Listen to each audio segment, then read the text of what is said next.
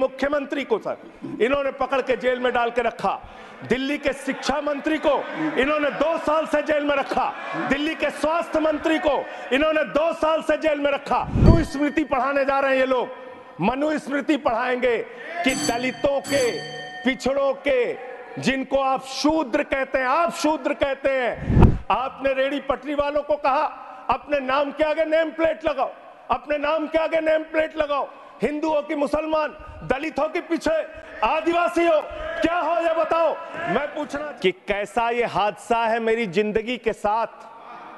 कैसा ये हादसा है मेरी ज़िंदगी के साथ?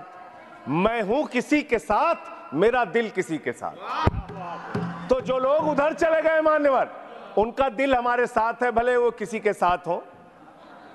मान्यवर, इस बजट का बहुत ढोल पीटा जा रहा है कि बड़ा क्रांतिकारी, बड़ा अच्छा बजट, बड़ा विकसित भारत का बजट है। यह बजट क्या है, मान्यवर?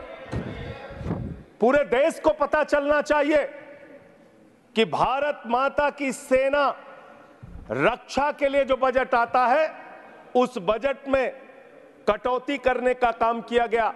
नौ दशमलव छह प्रतिशत से घटाकर नौ दशमलव चार तीन प्रतिशत किया गया। भारत का अन्नदाता किसान, जो अपने खून पसीने से देश को चलाने का काम करता है, मान्यवर। उसका बजट, कृषि का बजट, तीन दशमलव दो प्रतिशत से घट, दो ज़ीरो प्रतिशत से घटाकर तीन दशमलव एक पाँच प्रतिशत किया गया। स्वास्थ्य का बजट, हिंदुस्तान 144 करोड़ लोगों का देश है, मान्यवर। लेकिन बड़े अफसोस के साथ कहना पड़ रहा है कि स्वास्थ्य का बजट एक दशमलव नौ सात प्रतिशत से घटाकर एक दशमलव आठ पाँच प्रतिशत किया गया। ट्रांसपोर्ट का बजट ग्यारह दशमलव चार आठ प्रतिशत से घटाकर ग्यारह दशमलव दो आठ प्रतिशत किया गया। पेंशन, जहाँ एक तरफ़ पुरानी पेंशन की बहाली की मांग हो रही है, लाखों कर्मचारी सड़क पर हैं और मांग करते हैं कि पुरानी पेंशन बहाल किया जाए। इस सरकार ने पेंशन का बजट पाँच दशमलव दो ज़ीरो प्रतिशत से घटाकर पाँच दशमलव ज़ीरो चार प्रतिशत करने का काम किया। एनर्जी का बजट दो दशमलव एक ज़ीरो प्रतिशत से घटाकर एक दशमलव चार दो प्रतिशत करने का काम किया। वैज्ञानिक विभाग का बजट दशमलव सात प्रतिशत से घटाकर दशमलव छह प्रतिशत करने का काम किया। फ़ूड सब्सिडी का बजट चार दशमलव तीन आठ प्रतिशत से घटाकर चार दशमलव दो पाँच प्रतिशत करने का काम किया। नॉर्थ ईस्ट के विकास का बजट, मणिपुर की तो चर्चा आपने नहीं की, लेकिन नॉर्थ ईस्ट के विकास का बजट आपने ज़ीरो दशमलव तेरह प्रतिशत से घटाकर ज़ीरो दशमलव बारह प्रतिशत करने का काम किया। सामाजिक कल्याण, जिसमें आपका बिल्कुल यकीन नहीं है, उसका भी बजट आपने घटाया। एक दशमलव दो दो प्रतिशत से घटाकर एक दशमलव एक सात प्रतिशत करने का काम किया। आपने फर्टिलाइज़र का खाद का बजट तीन दशमलव आठ आठ से घटाकर तीन दशमलव चार प्रतिशत करने का काम किया और फ़ूड सब्सिडी आपने घटाने का काम किया। ये है आपके विकसित भारत के खोखले बजट की सच्चाई। हर वर्ग को आपने चोट पहुँचाने का काम किया, मान्यवर। आप कहते हैं आज दुनिया की पांचवी बड़ी अर्थव्यवस्था है। पांचवी बड़ी अर्थव्यवस्था है। अरे, ये तो सच्चाई बताइए कि ये पांचवी बड़ी अर्थव्यवस्था किसके लिए है आप? आपने चंद पूंजीपतियों का 16 लाख करोड़ रुपए माफ़ किया। यह इस देश की सच्चाई है। आपने 16 लाख करोड़ रुपए पूंजीपतियों का माफ़ किया। आपने 14 देश के प्रधानमंत्रियों ने जितना कर्जा लिया उससे दोगुना कर्जा अकेले आपकी सरकार ने लिया। आपने डेढ़ सौ लाख करोड़ रुपए कर्जा लेने का काम किया, देश को कर्ज में डुबाने का काम किया। मान्यवर, मैं बताना चाहता हूँ, इस सरकार से किन किन वर्गों को उम्मीद थी? इस सरकार से उम्मीद थी देश के अन्नदाता किसानों को कि आप एमएसपी दोगुना करेंगे। आपने एमएसपी दोगुना नहीं की। आपने किसानों की फ़ूड सब्सिडी का काटने का काम किया, फर्टिलाइज़र सब्सिडी काटने का काम किया, कृषि क्षेत्र को देने वाले बजट को कम, खत्म करने का काम किया। बेरोजगारों को उम्मीद थी 10 साल में आपने कहा था मान्यवर 20 करोड़ नौकरियाँ देंगे 20 करोड़ नौकरियाँ आपने नहीं दी। फिर नौजवानों ने कहा, नौकरी दो नौकरी दो। फिर आपने कहा, पकौड़ा तल लो, पकौड़ा तल लो। फिर आपने कहा, पान की दुकान लगा लो, पान की दुकान लगा लो। फिर आपने कहा चार साल की नौकरी कर लो सेना में, चार साल की नौकरी। मैं मानवर आपके माध्यम से, भारत के प्रधानमंत्री से बड़ी विनम्रता पूर्वक पूछना चाहता हूँ, देश के प्रधानमंत्री को तिहत्तर साल की उम्र में तीसरी बार प्रधानमंत्री बनना है, लेकिन किसान का बेटा नौजवान सेना में चार साल की नौकरी करेगा, ये भेदभाव क्यों है? मैं पूछना चाहता हूँ, मैं पूछना चाहता हूँ, मान्यवर, आपके माध्यम से इस सरकार से जानना चाहता हूँ, अगली योजना क्या आएगी आपकी? आप कह रहे हो इंटर्नशिप योजना, ट्रेनिंग योजना, पाँच हज़ार रुपए की ट्रेनिंग ले लो, पाँच हज़ार रुपए की ट्रेनिंग ले लो।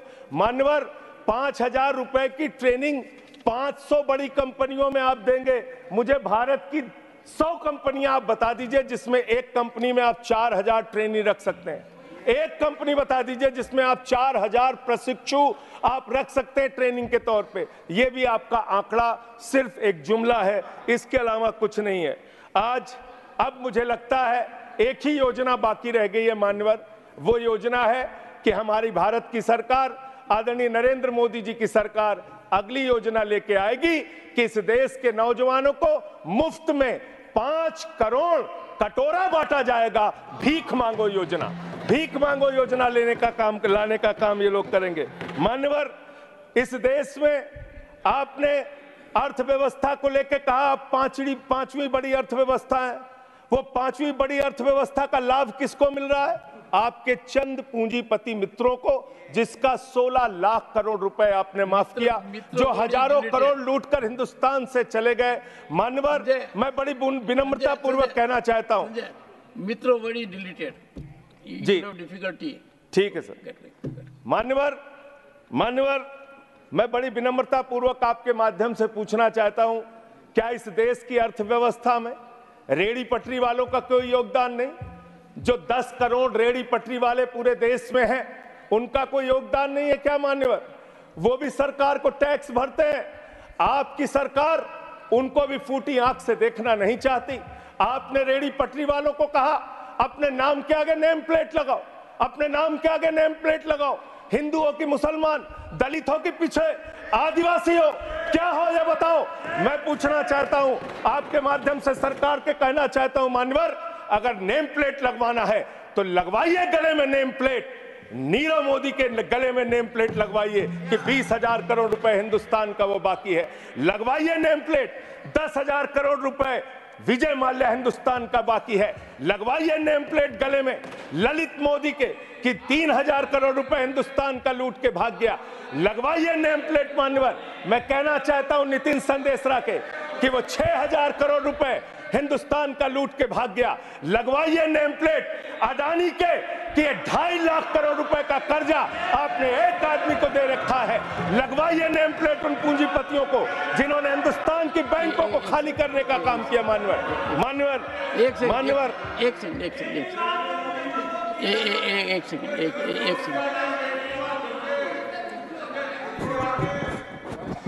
एक सेकंड एक सेकंड एक सेकंड। एक सेकंड एक second honourable member and you are a senior person Sanjay ji you are a senior person धारा प्रवाह में आप काफ़ी कुछ कह गए फिगर्स के बारे में। बाकी तो you can make your point no difficulty about it one second तो the figures which you given you will have tough time in proving them. Because these have been taken in stride. So all that will be deleted and we will, unless you have real, factually firmed up material, use a name. Other make your point. ठीक है sir ठीक है sir thank you sir Make your point. No thank you sir मानवर मैं तो ये कहना चाह रहा था आपके माध्यम से कि इस तरह के काम देश के अंदर नहीं होने चाहिए। भारत एक धर्मनिरपेक्ष राष्ट्र है और हम जानते हैं अपनी सामाजिक व्यवस्था में। मैं जानता हूँ इनके मन में दर्द होगा, मान्यवर। अभी चुनाव हारे हैं ये उत्तर प्रदेश में तो वहाँ पर अगर कोई बोर्ड लगाएगा, जाटव ढाबा, एक सेकंड, जाटव ढाबा कोई लगाएगा? कोई अपने ढाबे के आगे? अगर बाल्मीकि ढाबा लिखेगा तो आप लोग उसके यहाँ खाने नहीं जाओगे। मैं जानता हूँ आपकी मानसिकता। आप वो लोग हैं जिन्होंने भारत के तत्कालीन राष्ट्रपति श्री रामनाथ कोविंद जी को प्रभु श्री राम के मंदिर के शिलान्यास में नहीं बुलाया। आप वो लोग हैं जिन्होंने मौजूदा राष्ट्रपति श्रीमती द्रौपदी मुर्मू जी को राम मंदिर के उद्घाटन में नहीं बुलाया। आप दलितों से, पिछड़ों से, आदिवासियों से, अल्पसंख्यकों से, मुसलमानों से नफरत करने का काम करते हैं। यह आपकी सच्चाई है। इसलिए नेम प्लेट मत लगवाइए। नेम प्लेट लगवाना है तो जिन्होंने देश की बैंकों को लूटा है उनका नेम प्लेट लगवाइए। और मान्यवर मैं आपसे आपके माध्यम से इस सरकार से कहना चाहता हूँ इनका बजट पड़ रहा था इनका बजट पड़ रहा था मान्यवर। जेलों को भी इन्होंने कम बजट दिया। अरे जेल का बजट तो बढ़ा दीजिए। 300 करोड़ रुपए जेल का बजट। जेल का बजट बढ़ा दीजिए। अरे अभी हमको जेल में भेजा है। कल तुमको जेल में आना है। तुम सबको जेल में आना है। जेल का बजट बढ़ा दो। जेलों को ठीक कर दो। अगला नंबर तुम्हारा है। मिस्टर संजय सिंह। जेल में आना है। मिस्टर संजय सिंह। कम जेलों को तो ठीक कर दो। मिस्टर संजय सिंह। नंबर तुम्हारा। जी मैं जेल के बजट पे बोल रहा हूँ। मानवर मैं जेल के बजट पे वन सेकंड वन सेकंड। तीन सौ करोड़ दिया इनको जेल में आना है वन सेकंड वन सेकंड। सदन के नेताजी से मैं अनुरोध करूँगा कि ये बहुत मार्मिक अपील है। जेल का बजट बढ़ाने के लिए। और इस पर आप गौर फरमाइए। धन्यवाद सर। धन्यवाद सर। ठीक है ना? धन्यवाद, सर। एक पृष्ठभूमि भी है। मान्यवर मान्यवर इसका ध्यान इस रखा देश जाएगा में इन्होंने न्यायपालिकाओं के लिए जो बजट रखा वो नाकाफी है। पाँच करोड़ केसेस पेंडिंग है इस देश के अंदर। और छह लाख लोगों को पूरे देश में जेलों में रखा गया है जिसमें करीब करीब छिहत्तर प्रतिशत अंडर ट्रायल है। इसका मतलब आपका मकसद न्याय दिलाना नहीं है। आपका मकसद किसी मामले की सच्चाई तक पहुँचना नहीं है। आपका मकसद है पकड़ पकड़ के एक एक व्यक्ति को जेल में डालना। आपने दिल्ली के मुख्यमंत्री को जिनकी सुगर 36 बार 50 से नीचे जा चुकी है आपने दिल्ली के मुख्यमंत्री को पकड़ के जेल में डाल दिया। नहीं मानवर अब इनको बार बार मौका मत दीजिए। मुझे अपनी बात पूरी करने दीजिए। I am not yielding sir I am not आपने दो बार कहा रखना मैं चाहिए? ये One minute, हैबिट बना लिया इन्होंने सर। दिल्ली के मुख्यमंत्री को सर। इन्होंने पकड़ के जेल में डाल के रखा। दिल्ली के शिक्षा मंत्री को इन्होंने दो साल से जेल में रखा। दिल्ली के स्वास्थ्य मंत्री को इन्होंने दो साल से जेल में रखा। आप एक एक विपक्ष के नेता को पकड़ पकड़ के जेल में डालते हैं। हेमंत सोरेन को मुख्यमंत्री मुख्यमंत्री को जेल में आपने रखा। संजय रावत को जेल में रखा। अनिल देशमुख को जेल में रखा। सबको पकड़ पकड़ के आप जेल में रखते हैं। बंगाल के तीन मंत्रियों को आपने पकड़ के जेल में रखा। आपका मकसद ट्रायल कराना नहीं न्याय दिलाना नहीं आपका मकसद हम लोगों को पकड़ के जेल में रखना है। जितना जेल में डालोगे जितना जेल में डालोगे मैं आपसे कहना चाहता हूँ जितना जेल में डालोगे उतना गर्त में जाओगे जिस जे, जिसने भी ये राजनीति की है उसका समापन हो गया है। अभी 240 पे पहुँचे हो कल 24 पे पहुंचोगे इसके बाद दो पे भी आओगे। मैं तो एक एक दो मिनट और मैं बस कह के अपनी बात खत्म करूँगा। मेरे टाइम में से उसको काट लीजिएगा। मान्यवर? भेदभाव की बात। सबसे भेदभाव इनको करना है। मुसलमानों से भेदभाव सिखों से भेदभाव ईसाइयों से भेदभाव दलितों से भेदभाव पिछड़ों से भेदभाव और अब राज्यों से भेदभाव। राज्यों से भी भेदभाव महिलाओं से भेदभाव राज्यों से भेदभाव। क्या भेदभाव किया सर इन्होंने? दो लाख बत्तीस हज़ार करोड़ रुपए। दो लाख बत्तीस हज़ार करोड़ रुपए दिल्ली के लोगों ने सरकार के केंद्रीय खजाने में टैक्स के रूप में दिया, जीएसटी और इनकम टैक्स के रूप में। बदले में हमको कितना मिलता है? ज़ीरो। नौ साल से आप दिल्ली को बजट नहीं देते। पंजाब के लोग, बस मेरे में से काट लीजिएगा, सर, एक दो मिनट काट लीजिए। पार्टी पार्टी के उसमें से काट लीजिएगा। पंजाब के लिए, सर, पंजाब का किसान अपना खून पसीना बहा के खेत में गेहूँ पैदा करता है। धान पैदा करता है। आपने आठ हज़ार करोड़ रुपए पंजाब के विकास का पैसा रोक रखा है। विपक्ष के राज्यों का पैसा आपने रोक रखा है। ये भेदभाव क्यों कर रहे हैं आप? आप क्यों कर रहे हैं? आप लिखते हैं, राज्यों के विकास से देश का विकास है। ये आप राज्यों का विकास कर रहे हैं। एक एक करके, टारगेट करके विपक्षी राज्यों के साथ आपने भेदभाव करने का काम किया। और अंत में, कोई मुझे कह रहा था, सारे बजट कम किए किए। शिक्षा के बजट को भी आपने कम कर दिया। मैंने इन लोगों से कहा, शिक्षा से इनका कोई लेना देना नहीं है।